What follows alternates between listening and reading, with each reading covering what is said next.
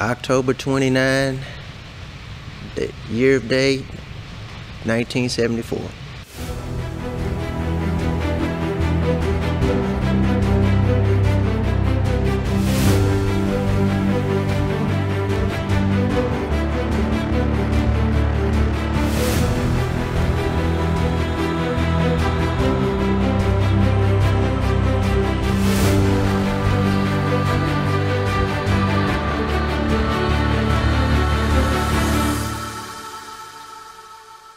I gave birth to him October 29, 1974. He's my son. Just a real dynamic little boy that grew up to be a dynamic young man. Damien, you know, he was he was always a preppy boy. Yeah, his mom kept him prepped up. So uh, he was he was cool. He was uh, generous. He now Damien didn't play no games. Now if Damien got into an altercation, he'll talk it down first with his words, but you're not gonna do what you think he's gonna do. yeah. Uh, he actually lives in the community where um, my business is, and actually, I, actually grew up in that community also. I own a barbershop. I've been in uh, the city of Forest Hill for now 35 years or so. Okay and he's uh, he was actually a client of one of uh, my barbers, and so that's how we formally met. Yeah. Well, I used to cut his hair at uh, a barbershop in Forest Hill about 11 years ago. Um, uh, but I knew him before I started cutting his hair. He was going to other barbers, and uh, but but basically we connected so good to where he started letting me cut his hair. Very different. When I say different, you don't meet a guy like him every day. Uh, once you meet him once, you'll never forget him. Uh, he brings such humbleness to the table, uh, very um, full of wisdom, um, and and, and uh, he greets you with a smile, and that smile is a million dollar smile, and he's just genuine.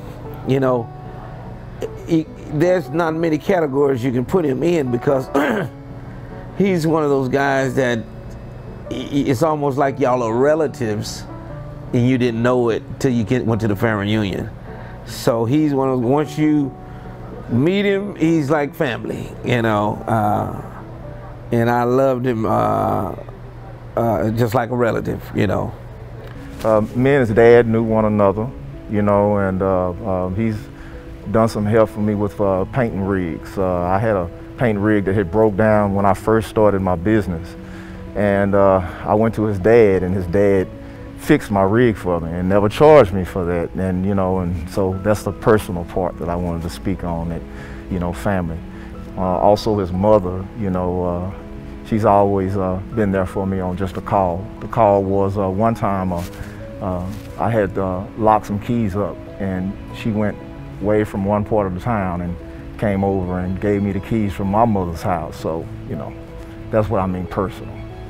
I met Damien many years ago, I think initially it was a friend of a friend that we met um, and then again i believe in 2007 um, he was coming in to my organization to get certified.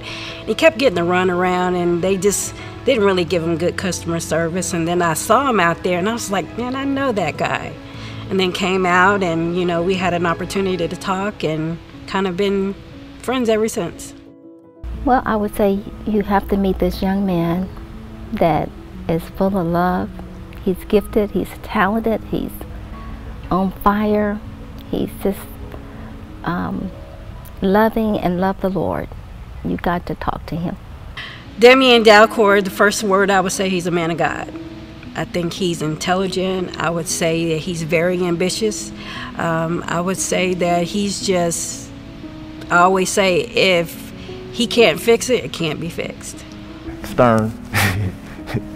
Uh, you know, uh, uh, very, very stern. Um, but, you know, he taught me a lot, you know, because I was green, very green when we first met. And I, I just want to share this one part. I remember the first uh, venture we had, uh, we did a roofing job.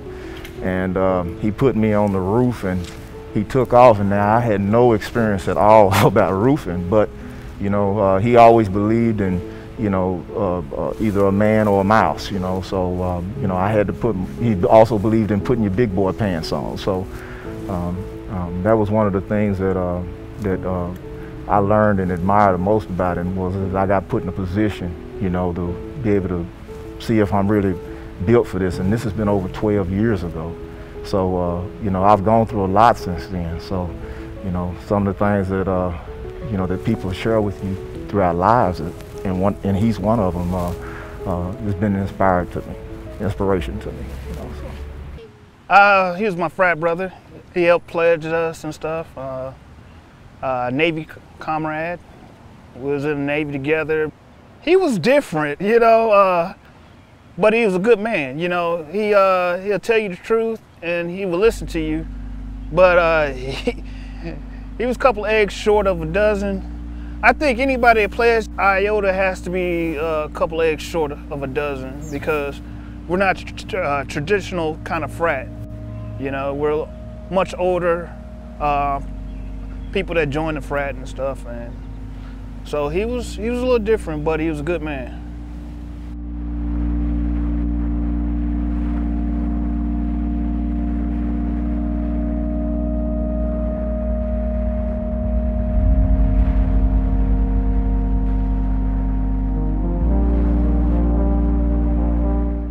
I always knew that Damien was going to be something.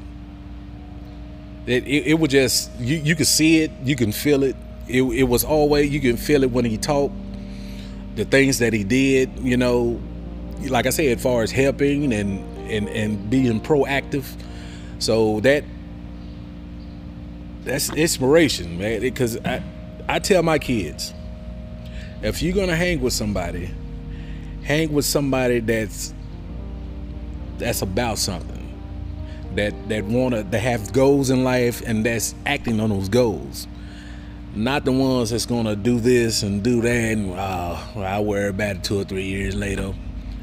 You gotta act now. Um he can push you.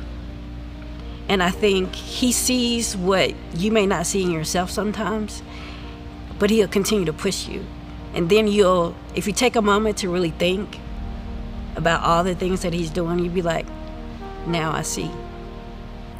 The, Damien is very, very outgoing. And it's surprising to me what he'll do next.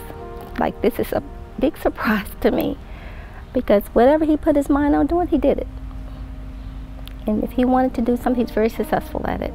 So he, that's, I guess, uh, that's the personality that I see the most in him. So nothing never surprises me, just like now. You know, what is he up to? But he is the kind of person, he's going to keep it to himself and he's going to accomplish it.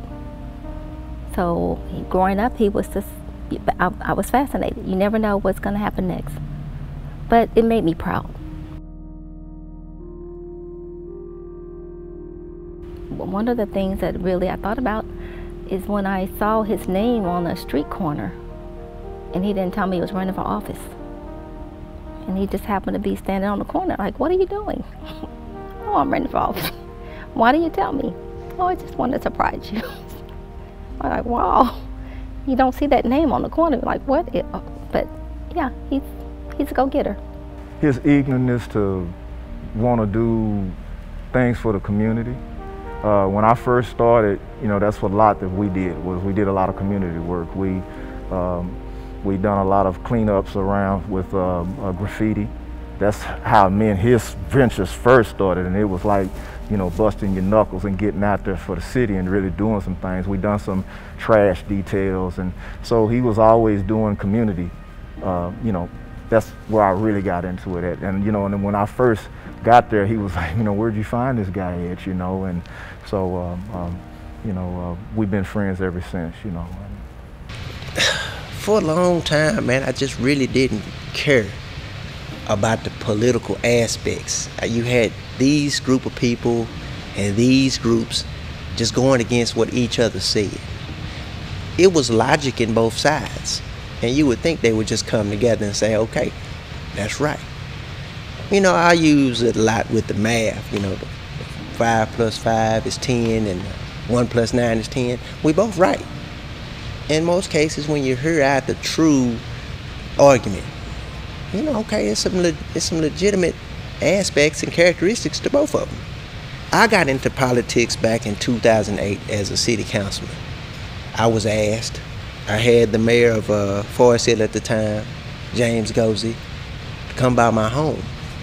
Now I think someone had made it known to him that I was very inclined with, you know, uh, handyman attributes.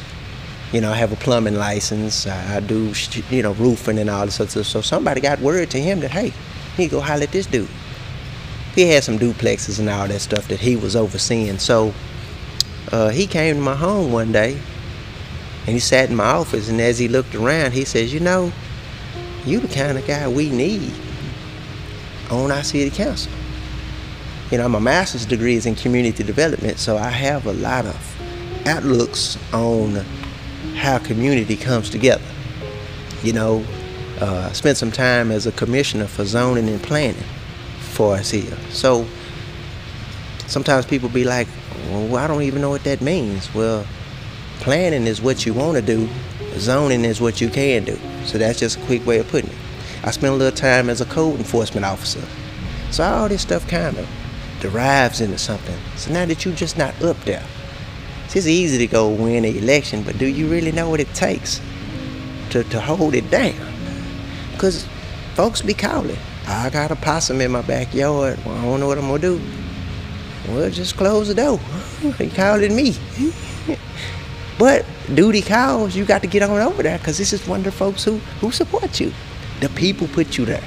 2008 when I well no I met Damien before then when he was a kid and he was coming over to the house to uh, interact with my kids when they were young and I can't tell you how old he was at that time or whatever but they were in and out or whatever. But back in 2008 is when I really paid him attention because he was trying to run for city council as well. So we both was running for city council and we decided that uh, we'd run on the same ticket you know to kind of help each other out or whatever and we won so, uh, like I said, Damien has always been like a, I always looked at him like one of those kids that grew up with my kids as a kid, but he was always a mannerable person. He was always a person that uh, was respectful. I wish that everybody would know his heart. He has a heart that's of gold, and he loves people, and he loves helping. So he's he's got that personality. Uh, my fun, I guess, is not funny, but uh, I think once he started letting me cut his hair just because of the chemistry we had, he had a different texture of hair. He has a fine texture of hair. In some spots, it grows different. Well, I wasn't too familiar with just fine hair all the time. He would always say, oh man, just cut it, man, just cut it. It just has it. No, it ain't just hair because I'm looking at it. And if I cut it wrong, it's gonna leave a bald spot or patch. He said, well, guess what? We'll just cut it all off. It'll grow back. you know, that's how he talked. And I'd be like, man, you're something else, man. So he, that's the funniest part. I think maybe I cut his hair one time and it, it he, we had to take it on down to like, and he started wearing it bald for a minute, I think. But he didn't give me no static about it, you know. He was like, man, it'll grow back. It's just hair, you know. So that's the fun part. I meant is that even when you make a mistake with him, it's still fun. You know, it's not nothing that he got mad about it, didn't want to pay, you know, that type of deal. So. Um, in in the grade schools, we we lived out in Como, so Como, Morningside, Tanglewood, middle school, uh, Glencrest, Forest Oak, and high school. You know, we had Arlington Heights, Southwest, Nolan, and then Trimble Tech, where we graduated from in '93, which is another good year. So very active in the sports, very quiet, you know, didn't really have too much going for myself because, you know, I didn't have any brothers. You know, I had a sister, but, you know, you wanted to be cool, but we really wasn't too cool, you know, because, you know, you do. You want your sister to hook up with some of her friends, and she never was going for none of that. So I was like, man, what's going on? But, you know, I, I really didn't play the part. I didn't have too much good attire, any of that stuff. So I just stayed on the low. How was it like being on the council? It was good. It was good.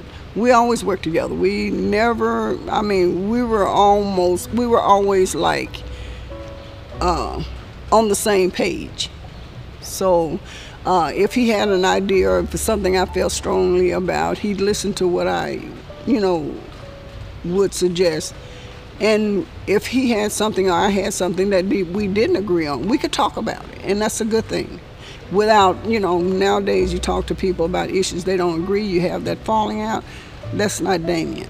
You know, he'll listen to what you got to say, he'll take it, put it in his pipe, smoke it, and then, you know, we'll talk about it. That's amazing because we have so many similarities and then we're just the opposite. And the great thing about our podcast, what people love this, is that, uh, you know, Damien is going to just speak his mind. And so we can literally, you know, disagree in a podcast and we still find a way of coming back. And, you know, I love the fact that he's a praying man because he always ends our podcast in prayer. And I think that's powerful. Uh, that's the, that's one of the things there. You know, we respect one another. There are times when I know he needs his space, and I'll back off. And so um, he doesn't need the nurturer. He doesn't need that person. You know, he's like Tia, you can't change me, and I respect that.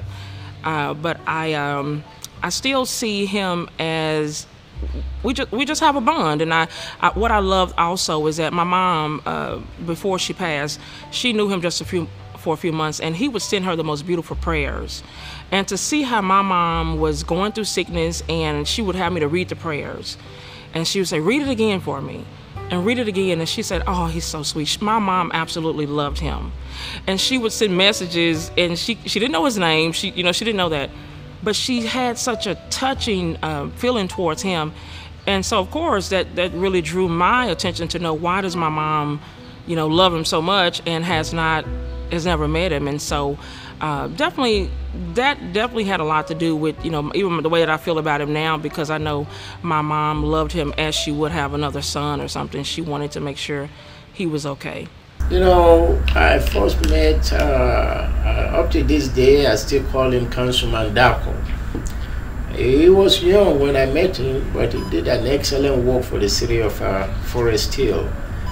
Uh, Councilman Dalcour worked well with Mayor Gosey. They, like I said, both of them went to Prairie View, A&M. They are both engineers. I think uh, Councilman Dalcour also has a degree in architecture and he has a master's degree in some kind of a planning and economic development.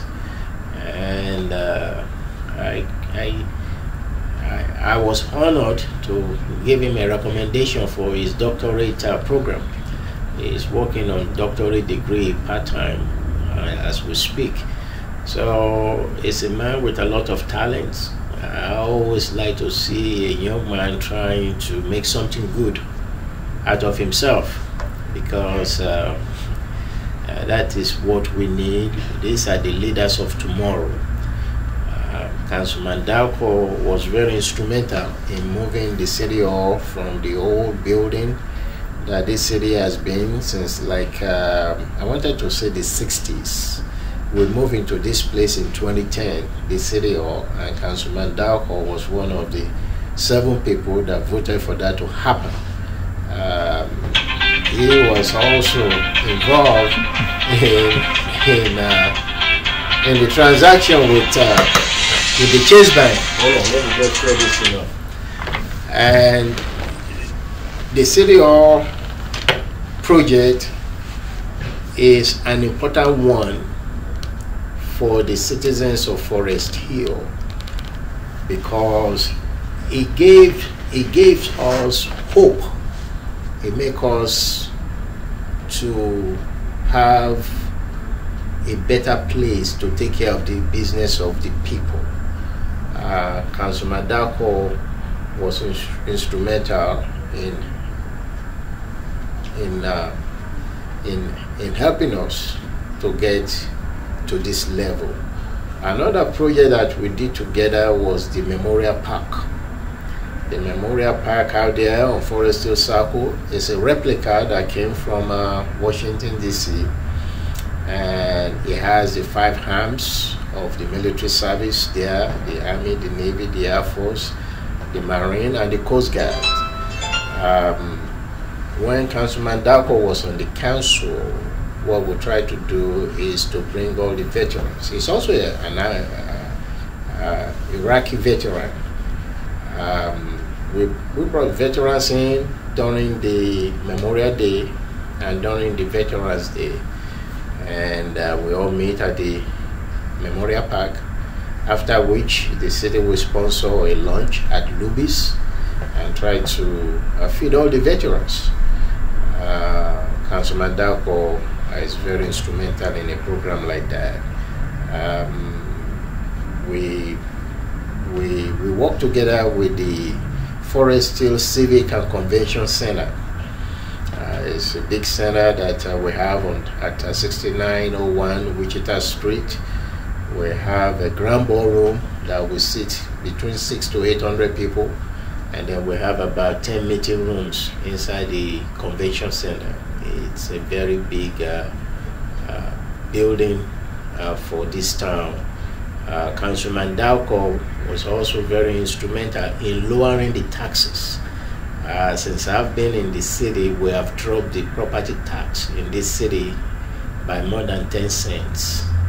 Now, that may not sound like a lot of money, but when you're talking in terms of uh, large sum of money, uh, it's a lot of money. So we save the citizens of uh, Forest Hill uh, to, we allow them to pay less when it comes to property tax. And the economic development function that has been happening, like uh, the Starbucks around here, Councilman Dalcour was instrumental because we sold the land uh, next to us to Starbucks. And then uh, QT on the other side, uh, you, that build that land there used to house uh, Chevron gas station, and because of his leadership and the rest of the people on the council with him, we are able to bring QT, and QT now brings a, a lot of tax dollars when it comes to sales tax into the city of Forest Hill. I, I like to see him when he works with the children. He goes around sometimes. Uh, we have a program in July, Family Fun Day, whereby you see him coming in his shorts, and then uh, we have sports, and uh, he's a friendly man. I always enjoy seeing his son Xavier. Uh, whenever they are going together, he goes around with his son, and he's proud of his son.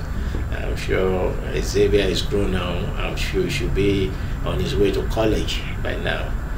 Uh, Councilman Dalcour I really learned from his dad. You see them just like he's going with his son. When his daddy was alive, tried to go around with him. There was one time I saw them in front of the whole city hall, posing in front of that Mercedes Benz. Politics, man, is if I had to express how politics is, and politics is gangster. It's more gangster than them streets. So I see them bud, them guys out there sagging with their pants. No, that ain't gangster. This politics is, is gangster for real. And you get to see, you know stuff that you really don't want to know. You need to know certain things because they'll come in there and tell you something that ain't true. That ain't no fact. You got to do that fact check. So it gets real it gets grimy at times. That's why I got the heck up out of it, man. Because if I didn't get up, it, if I didn't get out of it when I did, it's probably gonna come up missing or something. I don't know. Because people want to hit you at all angles, and and you do. You always want to be doing that continuing education. When they get the opportunity to go somewhere and learn something, go, go do it. Each year on that council, I received an award from the state of Texas, from the Texas Municipal League. I was utilizing those funds to better myself, which which I think was expected of me. And some people be on that council for years and they ain't never done nothing. So politics, man, it just opens you up to things that you don't want to know, and having to do stuff that you really don't want to do, and it it I had some allegations against me. You know, I had some allegations pressed upon me. They was lies, but you start thinking like, dang, how can they do this to me? And then turn your world upside down, big time. You know, I thought you think you have a friend and you can confide in it. The person who came to me, I shared some stuff with him about the war. Shoot, he he got mad because I didn't want to utilize my business for for personal gain. So, you know, let's let's just keep it like this. Well, it, it brought about some some some negativity. You know, I done got you in this. Dude. You know, I need my cut now. Well, I don't really want to cut it that way. But when you make the wrong person mad, they can make a lot of things go wrong for you. I wind up in the psych ward because I shared some stuff with him about the war and my nightmares. Stuff that I had been already evaluated for. Shoot. I had to turn myself in. Wasn't nothing wrong, but I had to spend two hours under observation dressed just like this. You got guys walking by you talking about, are you a doctor? No, I'm a, I'm a, I'm a patient just like you. You know, somebody pulled the, pulled the plug on me now I'm here. And you know, they look at you, you know, you seem to be dressed really nice and your hair's cut. Yeah, well, I thought I was normal, but here I am. So, you know, then they make a few phone calls. Well, we gonna release you. We just gotta make a couple of more phone calls to make sure. And then you get your belt back, your shoestrings, you know, anything else with some type of elasticity in it. Mm-hmm. you know, you, you can get dressed outside. Thank you. So this picture of his, this one is really, this is a picture of his dad, which I think probably looks the most of where Damien look, falls his looks like. He, this to me is just looks like a young version of Damien. But this was his dad. This is his dad Gino, and then this is his Gino's. That's my granny. So that's Mildred, and then that's Penny. That was here. So sister and brothers. Okay, I think, you know, for the most part, man, you know, I always wanted to be with my dad, but I think before I really knew my dad, I think dad had some things going on that he'd never recovered from from Vietnam. Um, he was affected with a herbicide called Agent Orange, which actually led on to me having some of the side effects and the birth defects. I had three of them. Of the 18 on the list, I have three of those birth defects. So knowing about those birth defects at a young age kind of ruined me a little bit because I would I, I always thought that I'd never be able to have children. You know, uh, I wouldn't be accepted by you know society because you know I have these birth defects. We know because none of them are, are visible, and you know I had to educate a guy one day like not all disabilities are visible. Visible, you know. Some people can be deaf and you won't know it, but it's because it's not visible. So, Dad had some things going on in his life that he never dealt with. Later on, I felt that dad didn't really have a, a good relationship with his mom and dad. His mom left his dad to be with another guy who I grew up knowing as a pawpaw. So, dad was on them drugs. He uh, had that post-traumatic stress. And you know, as a child, you really don't know too much about that. But I know my dad was always, when I did see him, he was always happy to see me. He'd always teach me things and he'd always scoop me up and take me with him. And I think those were some of my best moments. And I think when sixth grade came around, they picked dad up. As soon as I got home from school one day, my auntie came and got me from school and and when we got back to the house, they was walking him up the street in handcuffs. And that was it. And I think I seen him a few times downtown on a Sunday for visitation and after that to TDC.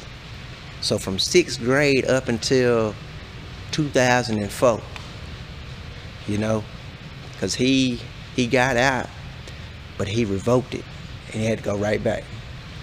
So childhood was kind of unique because outside of my father, I had my Uncle Charles, which is my mother's youngest brother. It was five of them. And Uncle Charles was the uncle that was sly, he was cool, he was hip, and he was the one that when my daddy wasn't around to kind of keep the boy in me. You know, he gonna throw you that football hard and he gonna rough you up. And he gonna grab me up sometimes and, and roll. You know, he rolled around. He had that bird, and I'd be right there in that front seat, and we'd be flying up and down streets. We wasn't thinking about no seat belts, getting pulled over. You know, I'm looking at him like, yeah, I can't wait to hit that bird one day. You know what I'm saying? So Uncle Charles kind of played a part while Dad wasn't around. But then too, Dad didn't have no job sometimes. He was in between this and that because construction went up and down. So Dad would walk from his mother's house where we were staying to my grandmother's house in Como.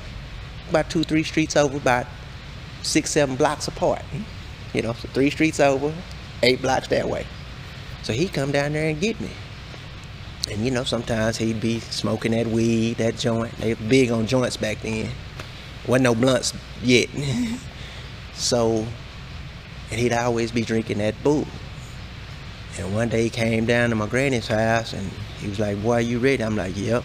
Couldn't wait for you to come through the door. Cause, cause like I said, granny's house, it was just a bunch of women. Couldn't do nothing. So we walking one day, he had left his beer on the on the rock fence in that sack. You know how they do with the sack. And so we went on up the hill, and I was happy. We we walking, holding hands, and he paid me that beer. He was like, "You know what to do." Sure do. I hit it for the first time, and it was nasty. It's like, God, dog, I ain't gonna ever drink this no more. But later on, I see how that relationship, if you gonna drink a beer with anybody, it's gonna be me first. So I remember that like yesterday. Can go to that exact spot where I hit the can right now. And be like, yeah, we was right about here in the street. yep. And I hit that, that bull. So when dad went to prison, it, it took a lot from me because I had to go home to my mama's house. And because my mom and sister had some issues, it left me there by myself. See, growing up, see, I had my sister. She was like my. I used to sleep on her floor next to her bed. I was scared to sleep in my room. I had all that Star Wars stuff on the wall. I won't sleep up in there. So, you know, I go in my sister's room at night and get on the floor. She made me feel safe. Well, when, when her and my mom got into it, she went to go live with my auntie and my granny. Left me at home by myself. So I had to do something again. Because at home, it was Kunta Kinte City. I mean, you know, I had to be in the bed at 10. I couldn't be on that phone. I could never get them keys to the car. Nothing. It was whack. It was like prison. I was like, man, I'm not trying to be like where daddy is. So, you know, occasionally she'd give me the keys to the car. Go, go down there and come right back. Well, back then, you know, they had chiefs Chief Auto Store and all them places where you can get that car key made. Well, I went and got me a key made one time. I took that change in that, that ashtray. I said, I ain't gonna be no more asking for them keys. you know, she go out of town all the time, and it was kind of weird how you would leave me in the house, but take the keys to the car. The house worth more than the car, you know. So I had me some keys she we, we was rocking tapes back then. So when she went out of town, I make it seem like I was so sad. I'd be everywhere. The gas was cheap, you know. It was 88 cents a gallon, so we had we could roll. So that was one of the perks of living at home because she was gone all the time. So all I had to do, you know, you, you, you, you grow up at an early age, like being responsible, waking up, getting on that bus, and, doing your thing because, you know, I don't know if you believe it or not, but mom came up to Glencrest one time in sixth grade and, and beat me up in front of the class because Mr. Harlan had called and said I was being disruptive. And man, I remember that like yesterday, but nobody ever said nothing to me about it. But I'm sure in their mind, they like, yeah, his mama came up here and beat him. You know? So we can't say nothing about that because he might click on us overall, you know, Damián has touched a lot of lives that people, like I said, have never. He doesn't always tell a story of the things that he's done for people. Um, he's very observant. I think we were driving one. He was driving one time, and it was the middle of the night, and he saw this guy laying in the grass. he turned around and you know gave him some water, gave him some money. You talked about our nonprofit, you know, so he's always willing to help everybody else. And that's that big heart that a lot of people don't see. He can be mean and tough, and he is. He is. But, you know, that's that, he's a combination of both. Um, yeah, I will basically say I had I just saw him for the first time in about 10 years. I saw him about two months ago at Chili's, and man, it was like a reunion. You know how you seen a relative that you ain't seen in 10 years, and y'all like first cousins, and due to you stay out of town or they stay out of town, whatever case may be, you don't you don't get to see him. Man, it just I could have stayed the whole day with him, you know, just just talking and like we used to do, and and but what I would say about him is that um, we called excuse me, we call him Weezy. So when he, they called me about the interview with his real name, I'm like, I don't know what this is. I never know his real name. You know, you get barbershop nicknames and all that type of stuff. But what I will say is that he is a guy, a young man that I wish could teach in high schools, and junior high, young black men, whether regardless of their race, but I'm going to start with young black men, how to be gentlemen. I, he just that genuine to me that we need a guy like him in junior high, elementary, to just teach young men how to handshake, how to say how you doing, and really care, you know, versus just something to say. Where he look at you doing all right, you know, man, that's good. You sure? You know, all right, all right. And he'll help anybody if you come to him correct and it makes sense, he got you, you know. So I just say I wish we had a billion Weezys, you know, be a better world, a better world, more more safe world, more education, more more humble, and definitely more, I would say, um, wisdom, pass pass it on to the next.